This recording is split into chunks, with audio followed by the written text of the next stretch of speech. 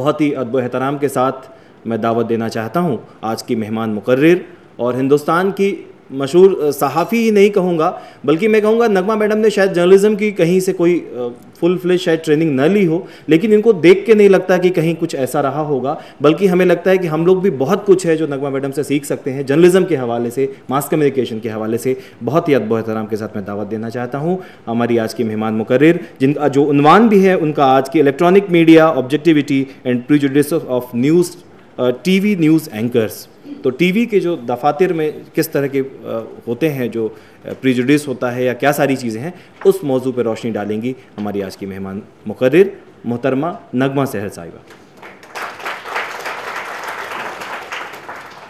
बहुत बहुत शुक्रिया आप तमाम लोगों का, आप सब लोगों का इतनी अच्छी तारीफ़, इतना अच्छा तारुफ आपने हमारा कराया और बहुत शुक्रिया आप लोगों का मुझे यहाँ बुलाने के लिए। एहतशाम साहब जब अभी बात कर रहे थे तो उन्होंने कहा कि हमारे दरवाजे किसी के लिए भी बंद नहीं हैं। हम स्वपन दास गुप्ता को भी बुलाते हैं और हम रवीश कुमार को भी बुलाएँगे। दो अदर एक्सट्रीम व्यूज़ हैं। अगर आप लोग देखते होंगे प्रोग्राम्स या लिखा हुआ पढ़ते होंगे स्वपन दास गुप्ता का या रवीश का प्रोग्राम देखते होंगे तो दो अलग अलग व्यूज़ हैं और अच्छी बात यह है और मुझे लगता है कि यही होना चाहिए कि उन दोनों तरह के ख़यालात के लिए जगह हो किसी के भी पास।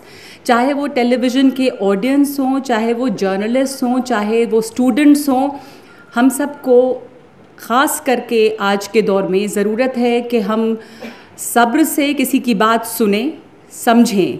क्योंकि आज के दौर में हमारे रोज़ाना की ज़िंदगी में भी, ख़ास करके जो बड़े शहरों में रहते हैं लोगों के ऊपर एक अजीब किस्म का जुनून सवार है। लोग मरने मारने को उतारू रहते हैं। अगर आपका इत्तेफाक नहीं है किसी एक पॉइंट ऑफ़ व्यू से तो आप उस पर सिर्फ़ कायदे से बात कर लें, ये मुमकिन नहीं है। आप ये टेलीविज़न चैनल्स में भी हर रोज़ देखते होंगे, अगर आप टीवी देखते हैं। वैसे मैं टीवी नहीं देखती टीवी में काम ज़रूर करती हूँ, लेकिन बहुत कम टीवी देखती हूँ। सिर्फ़ काम भर के लिए। पर जो लोग टेलीविज़न देखते हैं, आपने देखा होगा, अभी एहतशाम साहब ने कहा, आपने भी कहा कि बड़ा मुश्किल होता है कि किसी एक चैनल में किसी एक एक प्रोग्राम को आप देखें और आ, सुने क्योंकि लोगों को बोलने का मौका नहीं मिलता अमूमन लड़ाई हो रही होती है मारपीट है। तो सवाल ये भी उठता है कि ऐसा क्यों हो रहा है? हर हर इंसान हर एक वो पैनलिस्ट जो आता है वो एक हड़बड़ में होता है और ये साबित करने के लिए आते हैं वहाँ पर कि मेरा जो पॉइंट ऑफ़ व्यू है वो सही है। और उसको सही साबित करके जाना है। ये नहीं कि आप और मैं अलग अलग व्यू रख सकते हैं और हम में हो सकता है कि इत्तेफाक ना हो बावजूद इसके आप अपनी जगह पे हैं मैं अपनी जगह पे।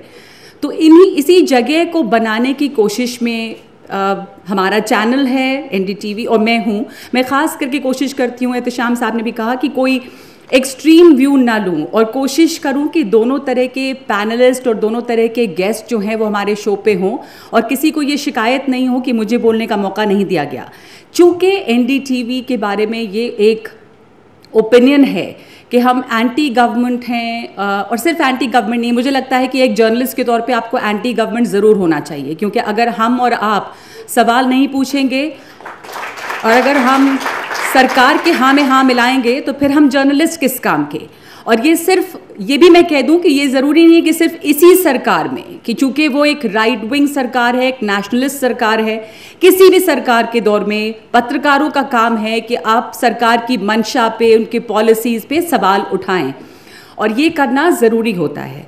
तो इसलिए आप वो जगह देना कि आप आप सरकार के काम पर सवाल उठाएँ तो बीजेपी के जब भी कोई कोई गेस्ट एक तो आपको पता नहीं मालूम है या नहीं मालूम है लेकिन बीजेपी के लोग हमारे यहाँ से नहीं आते हैं।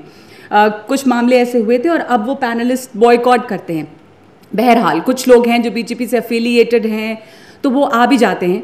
पर आते ही कहते हैं कि ऐसा है मैडम कि बड़ी मुश्किल से हम आए हैं हमें आने की इजाज़त भी नहीं होती अब हम आ गए हैं तो आप हमें बोलने की इजाज़त दीजिएगा और हमें वक्त दीजिएगा ज़्यादा। और आप उनके पास मुझे ताजुब होता है कि उनकी भी मॉनिटरिंग होती है। तमाम गेस्ट की, चाहे वो कांग्रेस के हों, समाजवादी पार्टी हो, बहुजन समाज पार्टी या वो बीजेपी हो, कि अगर वो टेलीविज़न पे आए हैं, मेरे पैनल पे बैठे हैं तो कितना वो बोल पाए, अपनी पार्टी की आइडियोलॉजी को कितना वो सामने रख पाए, इस पर उनकी भी मार्किंग होती है कि अगली दफ़ा आपको हम जाने भी देंगे या नहीं देंगे। तो जैसे हम तमाम लोग टीआरपी के टेलीविज़न रेटिंग के मारे हैं, वो लोग भी वही हैं। तो वो बेचारे आके परेशान रहते हैं कि अगर हम नहीं बोल पाएँगे तो फिर हमें अगली दफ़ा नहीं, या हमें, हमारी क्लास लगेगी कि आप वहाँ गए किस काम के लिए थे? आपने तो कुछ कहा नहीं। तो ये एक ऐसा दौर है और उसमें जो आज का टॉपिक है, वो बहुत दिलचस्प है कि ऑब्जेक्टिविटी अब हम ऑब्जेक्टिविटी की बात करें तो ऑब्जेक्टिविटी की जैसे बात यहाँ पर आपने की अभी कि हम कोशिश कर रहे हैं कि हम ऑब्जेक्टिव रहें, हम सब तरह की आवाज़ को जगह दें। हर जगह कोशिश है जर्नलिज्म या टेलीविज़न मीडिया अगर हम कहें जर्नलिज्म तो प्रिंट और उसके पहले तमाम चीज़ें नहीं, पर टेलीविज़न मीडिया आया तो भी शुरुआत में हम सब लोगों को हमेशा ये बताया गया, सिखाया गया कि अगर आप एक रिपोर्ट करने जाते हैं वो रिपोर्ट कंप्लीट नहीं, मुकम्मल नहीं होगी अगर आप दोनों तरफ़ का व्यू लेके ना आए। अगर आप कोई पॉलिटिकल स्टोरी कर रहे हैं तो सरकार और विपक्ष दोनों का व्यू होना चाहिए। अगर वो नहीं होता था तो स्टोरीज ऑन एयर नहीं होती थी टेलीविज़न में। अब किसी किसी गाँव में या किसी दूर दराज जगह भी गए हैं तो अगर किसी को आप पीड़ित कह रहे हैं, किसी को विक्टिम कह रहे हैं तो जिस पर आरोप है, उसकी तरफ़ से भी कुछ ना कुछ उसका पक्ष होना चाहिए। तो ये एक कायदा होता है हमेशा। अफसोस है कि आज के दौर में ये कायदे कहीं खोते जा रहे हैं। हड़बड़ है कि कैसे आप ब्रेकिंग न्यूज़ चला दें और आप पहले पहुँच जाएँ वहाँ पे। तो बहुत दफ़ा बिना चेकिंग के, बिना दोनों तरफ़ या तमाम पक्षों की राय रखे हुए ख़बरें जो हैं वो टेलीविज़न पे चल जाती हैं। और उसके बाद क्या होता है, अक्सर आप देखते होंगे कि माफ़ी का एक नीचे में टिकर आ जाता है कि जो खबर चली वो गलत थी और उसके लिए आप अपोलोजाइज़ कर रहे हैं। एक तो एनडीटीवी में हम कोशिश करते हैं और कुछ इसलिए भी अगर एनडीटीवी कुछ करता है तो ज़्यादा सख्त नज़र रहती है सरकार की कि हम कोई ऐसी गलती ना करें कि हमें फिर हमारे ऊपर एक और केस हो जाए या कुछ। तो हम लोग इस, इसके बारे में थोड़ा सा संभल के रहते हैं कि हम गलत खबरें ना चलाएँ। तो अच्छी बात यह है कि मैं ऐसे चैनल में काम करी हूँ जहाँ ये सब करने की गुंजाइश है। ऑब्जेक्टिविटी की अगर हम बात करें तो मैं इस इस इससे शुरू करना चाहती हूँ कि ऑब्जेक्टिव ऑब्जेक्टिव रहना जर्नलिज्म में ज़रूरी है, लेकिन ऑब्जेक्टिविटी बहुत मुश्किल है। और वो अगर आपको लग रहा है कि कोई ऑब्जेक्टिव है तो ये आपका नज़रिया है, पर हो सकता है वो ऑब्जेक्टिव ना हो। वो ऑब्जेक्टिव आपको इसलिए लग रहा है क्योंकि वो आपके पॉइंट ऑफ़ व्यू से शायद सही है, लेकिन दूसरे के पॉइंट ऑफ़ व्यू से वो ऑब्जेक्टिव नहीं है। अगर आप लोग यहाँ एन पसंद करते हैं, आप समझ सकते हैं कि एनडीटीवी ऑब्जेक्टिव है और अच्छा दिखा रहा है और न्यूट्रल है, पर एनडीटीवी को ट्रोल करने वाले सोशल मीडिया पे लाखों लाख लोग हैं जो कहते हैं कि एनडीटीवी बायस्ड है या प्रो प्रो कांग्रेस है, प्रो लेफ़्ट है। तो हम इस पर थोड़ा शुरू में मैं बात करना चाहती हूँ कि देखिए, कोई भी टेलीविज़न एंकर अपने आप में इस बात के लिए आज़ाद नहीं होता कि हम किसकी साइड लें और डे टू डे रोज़ाना का जो हमारा काम है, उसमें ये भी नहीं होता। ये सब आप लोग अभी बहुत सारे स्टूडेंट्स हैं यहाँ मास कम्युनिकेशन के। तो उम्मीद मत खोइए ऐसा नहीं होता है कि आपको कोई हर रोज आके बताता है कि आपको कांग्रेस की साइड लेनी है। या ये कम से कम मैंने तो नहीं देखा इतने साल के तजुर्बे में और हमारे चैनल में ये नहीं हुआ। हमें कभी किसी ने नहीं बताया कि आप कांग्रेस या लेफ़्ट की साइड लेंगे क्योंकि ये है। आ, या दूसरे चैनल में अगर बता बताते हों कि आप बीजेपी की साइड लें तो ये एंकर को रोज़ रोज़ कहा नहीं जाता। लेकिन ये कहने के साथ साथ मैं ये भी कहना चाहूँगी कि किसी भी एंकर या रिपोर्टर के लिए वो जिस भी चैनल में काम करते हैं, ये एक अनसेड uh, एक तरह से एक रूल होता है। You know where you are working and what is the political orientation of your owners so what is very important the biases come not from the anchors और the reporters but the biases come from the owners who owns the channel and there it's very difficult to be objective अब जो मालिक हैं, जिनका मालिकाना हक है, किसी भी चैनल पे, किसी भी मीडियम पे इलेक्ट्रॉनिक मीडियम की हम बात कर रहे हैं तो वो ज़ाहिर है कि एक प्रॉफिट मॉडल है ये।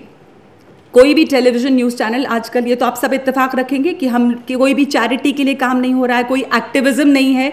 ये मीडिया हाउसेस हैं जो प्रॉफिट के लिए काम कर रहे हैं। ये इन्वेस्टमेंट का की एक बहुत बड़ी जगह बन गई थी जहाँ पर लोगों ने अपने पैसे लगाए।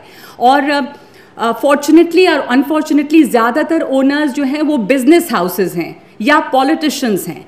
तो जब मीडिया जो चैनल्स हैं मीडिया हाउसेज हैं, उनका मालिकाना हक अगर किसी पॉलिटिशियन के पास होता है या कोई बिज़नेस हाउस के पास होता है तो वहाँ ऑब्जेक्टिविटी नहीं हो सकती। बायसेस होंगे कि आपके हक में क्या अच्छा है, आपको क्या पसंद है, आपकी लीनिंग किस तरफ़ है। आपने सबने सुना है पेड न्यूज़ की बात भी। प्रिंट में ये बहुत ज़्यादा होता है।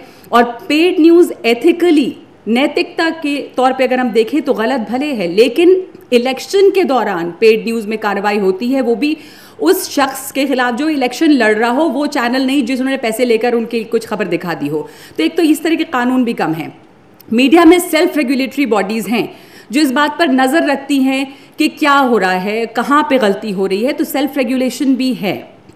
पर अगर चैनल्स चाहे एनडीए के एमपी हों, चाहे कांग्रेस के एमपी हों, अगर इनकी ओनरशिप चैनल्स पे होती है तो भले ही रोज़ाना रिपोर्टर्स को ये नहीं कहा जाएगा कि आप ये कीजिए या ये ना कीजिए, लेकिन मोटे तौर पे आप जान सकते हैं कि आपको पता होगा कि अगर आपके ओनर जो हैं, वो बीजेपी से जुड़े हैं, या आपके ओनर जो हैं, वो कांग्रेस से जुड़े हैं, या समाजवादी पार्टी से हैं, या वो आप जया टीवी में काम कर रहे हैं या या आप करुणानिधि के चैनल में काम कर रहे हैं तो आपको पता होगा कि आप कितने ऑब्जेक्टिव हैं। हाँ जो जो आ, ये भी मैं बार बार कह रही हूँ कि रोज़ रोज़ की रिपोर्टिंग में ये नज़र नहीं आता। पर एक जो लीनिंग है चैनल की आपकी फ़िलासफ़ी आपकी आइडियोलॉजी क्या है वहाँ पे ये नज़र आता है।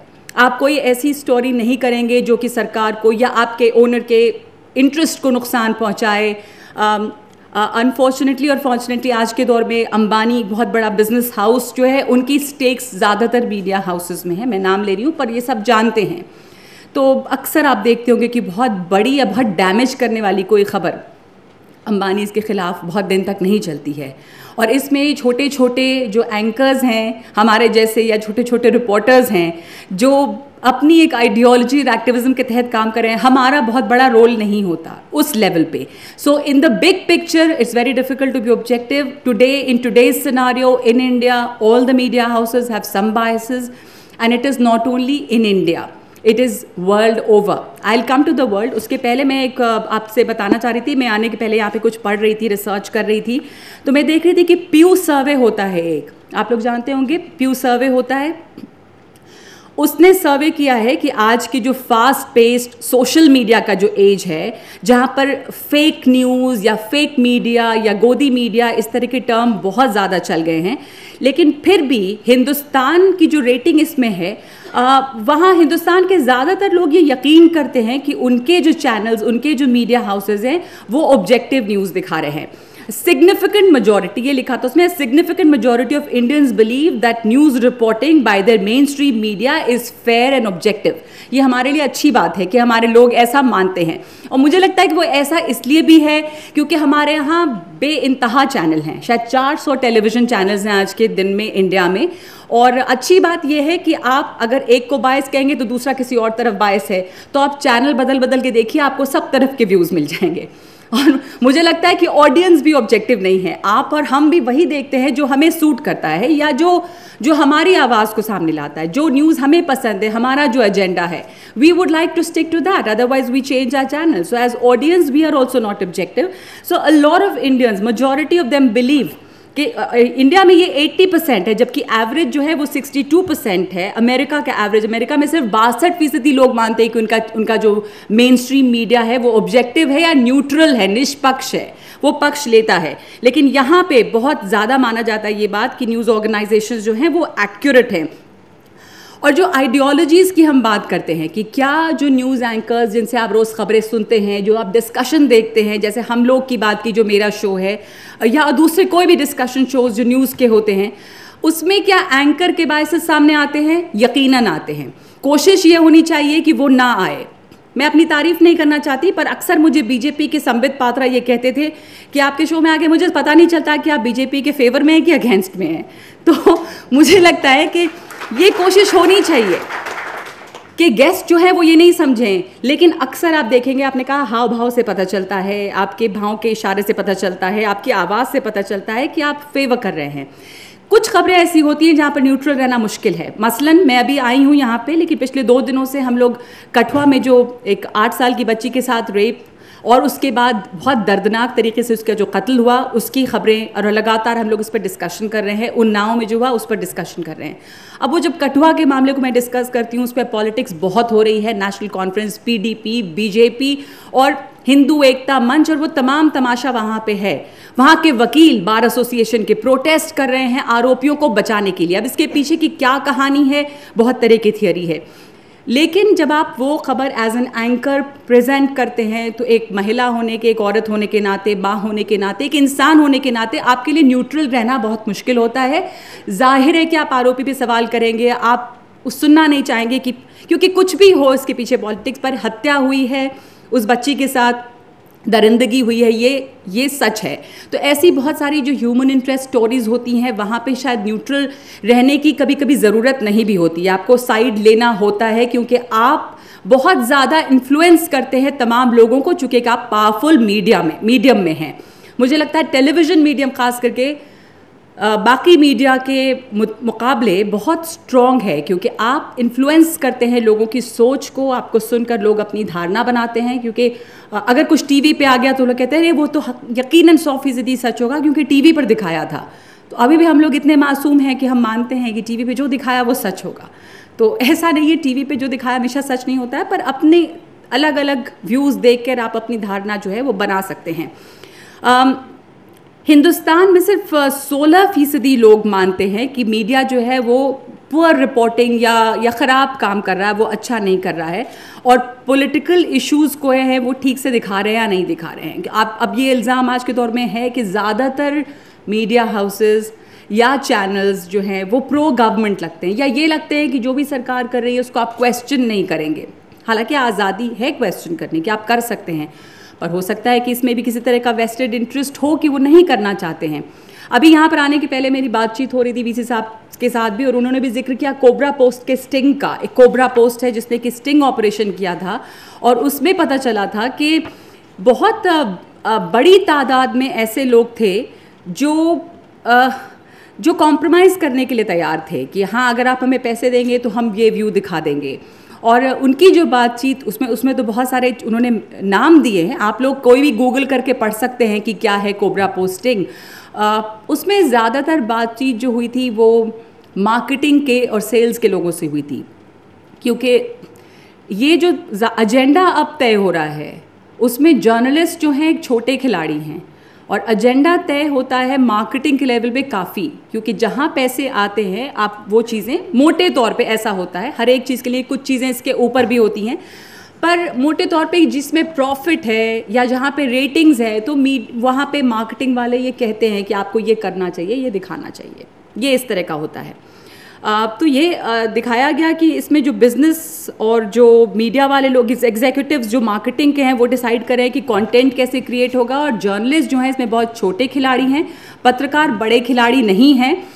सिवाय उन जगहों के जहाँ पर पत्रकार मालिक भी हैं। ऐसे भी मिसाल हैं हैं जहाँ पर पत्रकार जो जो ओनर्स हैं, वो मालिक भी हैं। अब वो अलग हो सकता है कि वो ओनर्स कांग्रेस की तरफ़ के हैं या वो ओनर्स बीजेपी की तरफ़ के हैं। आज के दौर में भी टेलीविज़न चैनल्स हैं, जहाँ पर कांग्रेस से जुड़े लोग भी ओनरशिप रखते हैं चैनल्स का, और दूसरे एनडीए के भी हैं। तो अगर ऐसा होगा तो बायस होगा। आप ये नहीं कह सकते कि उसमें ऑब्जेक्टिविटी बहुत नज़र आएगी। कुछ चीज़ों में आएगी भी, पर ज़्यादातर चीज़ों में नहीं भी आएगी।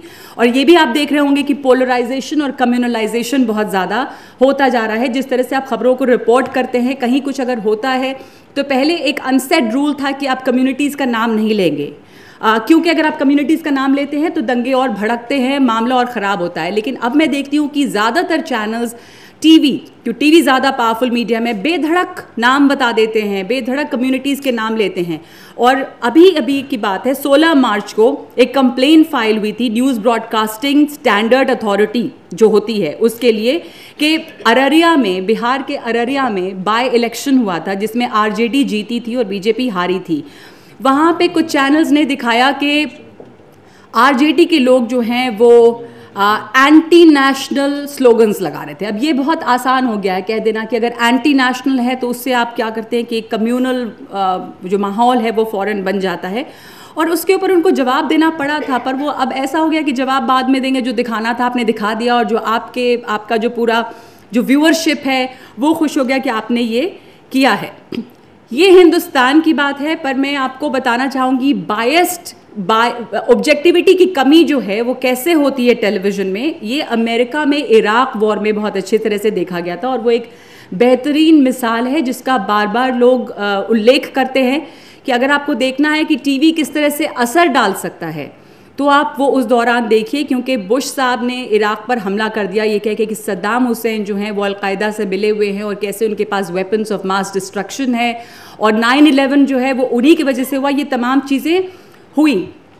इस दौरान अमेरिकन मीडिया जो था, American main stream television media वो ज़्यादातर वही दिखा रहा था जो उनकी सरकार कर रही थी। उसने हमेशा हमेशा जंग को, वॉर को जस्टिफाई किया। इसमें फॉक्स न्यूज़ आप जानते होंगे रूपर्ट मर्डॉक जो बहुत बड़े मीडिया बैरन हैं फॉक्स न्यूज़ के वो ओनर फॉक्स न्यूज़ में चूँकि रूपर्ट बर्टॉक जो हैं, वो प्रो वॉर थे, वो जंग चाहते थे, वो युद्ध के पक्ष में थे। तो फॉक्स न्यूज़ जो लीड कर रहा था इस कवरेज को, वो प्रो वॉर था, वो दिखा रहा था कि अमेरिका कितनी बहादुरी का काम कर रहा है। और युद्ध जो है जो वॉर छेड़ी गई है वो जस्टिफाइड है। और ज़्यादातर American main stream television media pro war हो रहे थे क्योंकि ये भी देखा गया कि अगर आप प्रो वॉर हैं आप युद्ध के पक्ष में खबरें दिखा रहे हैं तो ज़्यादा लोग आपको देख रहे हैं। बन बनस्बत उनके जो युद्ध के अगेंस्ट है वो बहुत छोटी एक माइनॉरिटी वहाँ पे थी। बल्कि मैं आपको आ, मिसाल देना चाहूँगी एक टीवी चैनल्स जो हैं उनमें एक बहुत बड़े, बड़ा शो करते थे एक। उनका शो बंद कर दिया गया था। मैंने उनका नाम यहाँ पे कहीं लिखा था। अभी मुझे मिलेगा तो मैं आपको बताऊँगी। वजह बताना आसान है कि उनकी रेटिंग्स नहीं आ रही थी, इसलिए शो बंद हो गया। लेकिन लोग थे जिन्होंने, जिनकी नौकरियाँ गई, जिनके शोज़ बंद हुए, अगर वो युद्ध के खिलाफ थे। तो अगर आप ऑब्जेक्टिविटी की बात कर रहे हैं तो हिंदुस्तान नहीं, ये तमाम जगह जो बड़े मीडिया हाउसेस हैं और जहाँ पर ओनरशिप जो है लोगों के हाथ में रहती है या पॉलिटिकल इन्फ्लुएंस है तो उसको इस्तेमाल किया गया सरकार के विचार को, सरकार की विचारधारा को आगे बढ़ाने के लिए। बल्कि आप नोम चॉम्स्की का नाम सब जानते हैं थिंकर फिलोसोफर लिंग्विस्ट अमेरिकन उन्होंने बहुत इंटरेस्टिंग तरीके से एक प्रोपोगैंडा मॉडल के बारे में बात की है। और उसमें वो कहते हैं कि एक सिस्टेमिक बायस है मैं अंग्रेज़ी में बताऊँगी कि इट अलेजेस प्रोपोगंडा मॉडल जो है it alleges systemic bias in the mass media and explains them in terms of structural economic causes. Chomsky has developed an analysis of how the wealthy and powerful use the media to propagandize their own interests behind a mask of objective reporting. According to Chomsky, ownership of the medium and funding. These are the two things which affect it in a big way. Ownership किसके पास है? Funding कहाँ से आ रही है? ये बहुत बड़ी बात है और यही दिखाई दिया था इराक वॉर में भी, क्योंकि उसमें जो जो रिपोर्टर्स गए थे अमेरिकी और ब्रिटिश फौज के साथ 775 के करीब रिपोर्टर्स थे जो एम्बेडेड जर्नलिस्ट थे. एम्बेडेड जर्नलिस्ट ज़्यादातर लोग जानते हैं कि जो ट्रूप्स के साथ जाते हैं और वही वो कहते या दिखाते हैं जो कि आर्मी का वर्जन है, चूँकि आप आर्मी के साथ जा रहे हैं। तो ज़ाहिर है कि वो वही उन्होंने दिखाया। इसलिए इस इराक वॉर के बारे में बार बार इसलिए बोल रही हूँ कि क्लासिक एग्ज़ाम्पल है कि आप इसको कैसे देखें। अगर आप यूरोप में या आप अरब कंट्री में थे तो ये ये वॉर आपके लिए कुछ और थी। अगर आप अमेरिका में से इसको देख रहे थे तो ये लड़ाई कुछ और थी। क्योंकि अमेरिका में से इसको दिखाया जा रहा था कि अब आगे क्या होगा, कैसे ऑपरेशन होंगे स्ट्रैटेजी क्या है जबकि जो Arabic news channels Al Jazeera भी या या यूरोपियन कुछ न्यूज़ चैनल्स या कनेडियन न्यूज़ चैनल्स वो ये दिखा रहे थे कि कैजुअल्टी कितनी हुई। अमेरिकन टीवी चैनल्स पे कैजुअल्टी नहीं दिखाई जा रही थी। दूसरे टीवी चैनल्स पे कैजुअल्टी दिखाई जा रही थी कॉस्ट ऑफ़ वॉर दिखाया जा रहा था। तो देखने का नज़रिया और जो सच है वो बदल जाता है। आप किसको देख रहे हैं? उसके ऊपर ये निर्भर करता है कि कौन सा व्यू आप देख रहे हैं? कौन आपको ये कहानी सुना रहा है? तो अमेरिका में बहुत ज़बरदस्त तरीके से मीडिया का सबवर्जन हुआ था। अभी भी आप देखें डोनाल्ड ट्रंप जिस दौरान इलेक्शन कैंपेन कर रहे थे अपनी अपनी डोनाल्ड ट्रंप तमाम तरह के बयानों के लिए जाने जाते हैं। उन्होंने सीएनएन का नाम रख दिया था क्लिंटन न्यूज़ नेटवर्क तो उन्होंने आरोप लगाया कि ये तो क्लिंटन के लिए काम कर रहा है सीएनएन जो है। CNN हो गया वॉशिंगटन पोस्ट है न्यूयॉर्क टाइम्स है, इस सबको उन्होंने फेक मीडिया कहा है। और जल्दी ही शायद अगले हफ़्ते वो एक फेक मीडिया अवार्ड देने वाले हैं। ये मैं पढ़ रही थी, वो प्रेजेंट करेंगे। तो वो ये सब तमाशा करते हैं। पहली दफ़ा शायद अमेरिकन प्रेसिडेंट कोई इस तरह का तमाशा कर रहे हैं। पर वो इस तरह का तमाशा करते हैं और वो कहते हैं कि जो उनके हक में नहीं है, वो फेक है। तो CNN फेक है और तमाम चीज़ें। तो अमेरिका में भी हुआ, हिंदुस्तान में भी हो रहा है। हिंदुस्तान में अच्छी बात ये मुझे लगती है कि हम लोग अभी पहले चर्चा भी कर रहे थे कि अभी ग्रोथ और होगी। ये बहुत ही एक डायनामिक सा फ़ेज़ है, बड़ी हलचल है। नए नए टेलीविज़न चैनल्स अभी भी खुल रहे हैं, बहुत ज़्यादा टेलीविज़न चैनल्स हैं 400 के करीब टेलीविज़न चैनल्स हैं 16 लैंग्वेजेस में चैनल हैं। तो गुंजाइश बहुत है ग्रोथ की और मच्योरिटी की अभी हम कहते हैं इलेक्ट्रॉनिक मीडिया जो हमारा टीवी मीडिया है वो परिपक्व नहीं हुआ है वो मच्योर नहीं हुआ है so it still is growing it has time and things will settle down so while acknowledging that there are biases and it is not objective, a lot of people in an individual capacity, try to be objective, maintain that balance. And the positive thing that comes out of it is that we have hope because our media is still very new and immature.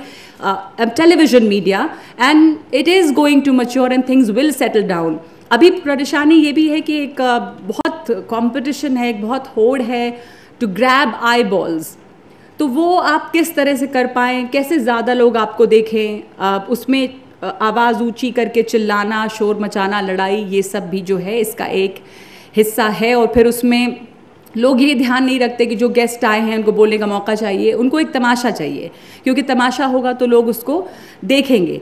तो यहाँ पर ये होता, हो रहा है, पर यहाँ पर मुझे लगता है कि उम्मीद अभी जो है वो बनी हुई है। वैसे वर्ल्ड प्रेस फ्रीडम का जो, के जो आंकड़े आए थे, उसमें हिंदुस्तान 136वें नंबर पे है, यानी काफ़ी नीचे है। और इसलिए जो कोबरा पोस्ट ने स्टिंग ऑपरेशन किया था उसको ऑपरेशन 136 के नाम दिया था। तो अच्छी बात है कि हमारे यहाँ मीडिया में अपने में ही काफ़ी वॉच डॉग्स भी हैं। हम लोग एक दूसरे को के ऊपर नज़र रख रहे हैं देखते हैं कौन क्या कर रहा है। कुछ होता है तो हल्ला होता है उसके ऊपर तो खामोशी नहीं है। आ, लोग ऐसे बस देख के खामोश नहीं बैठे हैं कुछ गलत हो रहा है तो आवाज़ उठाई जाती है। और इसलिए शायद टेलीविज़न मीडियम तो और भी ज़्यादा पावरफुल है इसलिए भी क्योंकि शुरू में भी मैंने कहा कि ये ओपिनियन को शेप करता है। आप और हम किसी चीज़ के बारे में क्या सोचते हैं, वो टीवी ज़्यादा शेप करता है क्योंकि पढ़ने वाले लोग अभी भी कम हैं। और हिंदुस्तान जैसे मुल्क में इलिट्रेसी काफ़ी है भी तो वो टीवी के आने से क्या हो गया कि वो तमाम लोग जो इलिटरेट हैं, वो भी उनके पास भी एक्सेस हुआ न्यूज़ का और वो न्यूज़ देखने लगे और न्यूज़ को अब्जॉर्ब करने लगे तो पब्लिक ओपिनियन उससे शेप होने लगी है। I would say it is the strongest mean which shapes the opinion of the general people. It is a mean by which the general population comes to accept and support the arrangement of social, economic, and political order.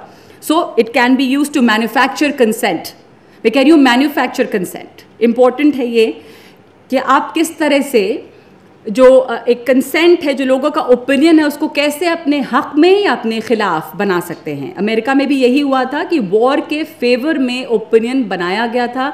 क्योंकि channels जो main stream media था, वो आपके control में था और propaganda के लिए इस्तेमाल किया गया था। बल्कि वहाँ पे यूएस मरीन कोर के एक लेफ्टिनेंट कर्नल रिक है, उन्होंने बड़ा, उनका फ़ेमस स्टेटमेंट उन्होंने कहा कि this is a warfare part of which is information warfare and we are dominating the information space so this is how we win the war अगर आप इंफॉर्मेशन की जो जगह है, उस पर अगर आपका कब्जा होगा तो लोग वही जानेंगे। अब मसलन हम सीरिया के बारे में आज क्या जानते हैं? जो हमको वेस्टर्न मीडिया बता रहा है या वेस्ट के अखबार बता रहे हैं। तो सीरिया का सच एक वो है, जो हम सब लोग पॉपुलरली जानते हैं। दूसरा सच, अगर आप अरबिक पढ़ सके और अरबी अखबार पढ़े और वहाँ का मीडिया पढ़े तो सच कुछ और है। So information is a very important tool and it depends कि कितने लोगों को किस चीज़ तक उनको पहुँच है, कितनी एक्सेस है तो जो ज़्यादा जगह तक पहुँच सकते हैं, जिनका रीच ज़्यादा है, वो ज़्यादा ताकतवर है। उस मामले में अभी भी दूरदर्शन काफ़ी ताकतवर है, क्योंकि उसकी रीच और, या ऑल इंडिया रेडियो की रीच अभी भी ज़्यादा है।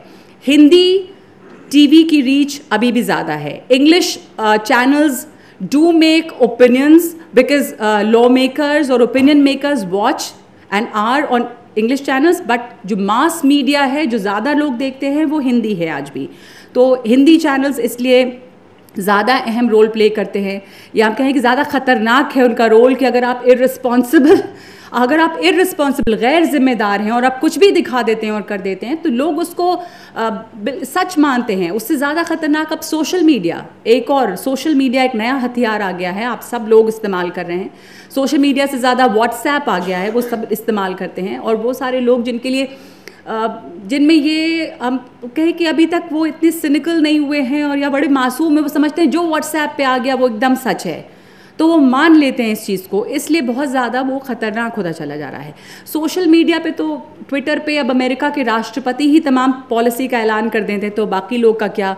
तो पूरी जंग जो है वो ट्विटर पे एक तरह से लड़ी जा रही है। लोग अपनी न्यूज़ कहाँ ब्रेक कर रही है अब सबसे ज़्यादा? सोशल मीडिया पे। टीवी फॉलो करता है, अगर किसी ने ट्वीट कर दिया। अब पीएम मोदी ने कुछ ट्वीट किया तो हम उसके पीछे भागेंगे। अमित शाह ने कुछ ट्वीट कर दिया तो हम उसके पीछे भाग रहे हैं।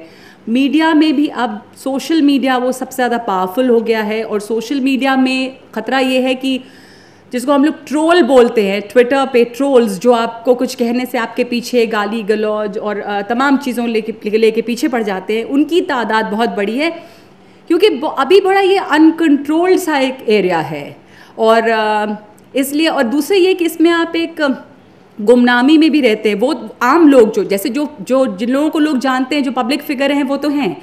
पर जो सब ट्रोल करते हैं, वो ऐसे लोग हैं जिनको मैं, अगर मैं, मुझे कोई कुछ लिख रहा मैं नहीं जानती कि आप कौन हैं। तो आपके सामने वो पर्दा होता है, आप अपने दिल की बात, अपने दिल का भड़ास, गाली गलौज, तमाम चीज़ें मेरे खिलाफ नाराज़गी निकाल सकते हैं और आपको कोई जानेगा नहीं। तो हर आदमी एक ओपिनियन मेकर हर आदमी एक राइटर ये बन गए हैं सोशल मीडिया पे। नया नया है। ये भी अपना रास्ता तलाशेगा और कहीं ना कहीं रुकेगा। तो ये सब उथल पुथल अभी मची हुई है और बहुत इंटरेस्टिंग वक्त है। आप में से बहुत सारे लोग मास मीडिया के जर्नलिज्म के स्टूडेंट्स हैं यहाँ पे। तो मैं आपको बिल्कुल भी मायूस या उम्मीद या डराना नहीं चाह रही हूँ। पर ये हकीकत है और ये बहुत इंटरेस्टिंग वक्त है जब आप मीडिया में आएँगे। Media is more powerful I think right now than any other time because इतना वाइड स्प्रेड है इतने चैनल्स हैं इतनी आवाज़ आपकी दूर तक जाती है सोशल मीडिया भी है um, और फ्यूचर तो वही है अभी जो जो इंटरनेट जो वेब मीडिया है वो फ्यूचर है। तो आप डाइवर्सिफाई भी बहुत कर रहे हैं तो बहुत ज़्यादा स्कोप है बहुत अपॉर्चुनिटीज़ हैं। और इसी में अपॉर्चुनिटी और चैलेंजेस वो भी हैं कि उसमें आप अपनी अपनी जगह बनाएँ। अब उस उस जगह या पहचान को बनाने के दबाव में भी बहुत सारे लोग आ, उस भीड़ में लग जाते हैं कि हम चीखें चिल्लाएँ आप जब जो जो लोग ये करते हैं उनकी पॉपुलैरिटी बहुत बढ़ती है। मैं देखती हूँ मिलियंस ऑफ़ फॉलोअर्स हैं। अगर एक खतरा और जो मैं बोलना चाहती हूँ न्यूट्रल अगर आप होते हैं ऑब्जेक्टिव होते हैं तो आपके फ़ैन फॉलोइंग कम होती है। क्यों? क्योंकि फिर आप पसंद नहीं आते लोगों को कि इनका क्या है? ये इधर भी बोल रहे हैं उधर भी बोल आपको कोई एक स्टैंड एक साइड ले लीजिए अगर आप, और उसके पीछे लग जाइए तो फिर आप आइडेंटिफाई हो जाएँगे कि भाई आप तो ये हैं, या तो हमारे आप मसीहा हैं या दुश्मन हैं। तो फिर बहुत ज़्यादा आपकी पॉपुलैरिटी तो वो जो पॉपुलैरिटी की रेस में लोग लग जाते हैं, उसमें ये दबाव रहता है कि आप किस तरफ़ खड़े हैं। और ज़्यादातर लोग आजकल किसी ना किसी तरफ़ खड़े हैं तो मैं ये नहीं कहूँगी कि सिर्फ़ राइट विंग को फॉलो करने वाला मीडिया बायस्ड है। मुझे लगता है जो सो कॉल्ड लिबरल मीडिया है, वो भी बायस्ड है, क्योंकि न्यूट्रल होना मुश्किल है और बहुत कम स्पेस मिलता है न्यूट्रल होने का। दोनों तरफ़ से कहीं ना कहीं आपको बायसेस नज़र आते हैं और उसी के बीच में एक ये जगह बनाने की कोशिश करनी चाहिए कि न्यूट्रलिटी रहे। क्रेडिबिलिटी एट स्टेक है। क्रेडिबिलिटी सबसे ज़्यादा कीमती चीज़ है आज के दौर में, जो ज़्यादातर जगहों पे नहीं है, भरोसा नहीं है, भरोसा टूटा है। वो क्रेडिबिलिटी बना पाए अगर आप, जैसे प्रणोय रॉय की बात कर रहे थे अभी सब कि आप उनको सालों से देख रहे जान रहे हैं। और आप प्रणव रॉय के बारे में बात करते हैं या सोचते हैं उनके बारे में, जो एनडीटीवी के हमें एडिटर रहे हैं तो एक क्रेडिबिलिटी आपके दिमाग में आती है कि वो एक ऐसा शख्स अगर वो कुछ न्यूज़ बोल रहे हैं, पढ़ रहे हैं तो आप उनकी बात पे भरोसा करेंगे। जैसे बीबीसी की एक क्रेडिबिलिटी थी एक ज़माने में, अभी भी है कि बीबीसी पे सुना था तो सच होगा। तो वही थोड़ा सा कुछ ऐसे लोगों के साथ भी जुड़ गया है मामला। तो और वो अब कम हो रहा है। अब आप ज़्यादातर वो रिस्पेक्ट नहीं रही बहुत सारे बड़े बड़े एंकर्स के लिए भी, क्योंकि आपको लगता है, आप सब लोग जानते समझते हैं कि लोग इतने बेवकूफ़ तो है नहीं। सब लोग समझ रहे हैं कि कितना भरोसा करें, कितना नहीं। तो वो चीज़ भी खोती जा रही है। और वो चीज़ आपको अपने अंदर डेवलप करनी होगी कि लोग आपके ऊपर। तो आप सब जो फ्यूचर जर्नलिस्ट हैं, वो इस तरफ़ अगर ध्यान देंगे तो फिर गुंजाइश, वो एक अलग उस तरह के रिपोर्टर्स की जगह बनती है या एंकर्स की जगह बनती है। फिर लोग भी उनको उसी रिस्पेक्ट से देखते हैं। वो जानते हैं कि हम इनसे बात करेंगे या इनके शो में जाएँगे। तो एक अलग किस्म का शो होगा। आ, तो ये है तो मैं नॉन स्टॉप स्पीच के तौर पे नहीं बोलना चाहती। आप में से कोई कुछ सवाल पूछना चाहते हैं या इस पर कोई कमेंट करना चाहते हैं तो आप यू मोस्ट वेलकम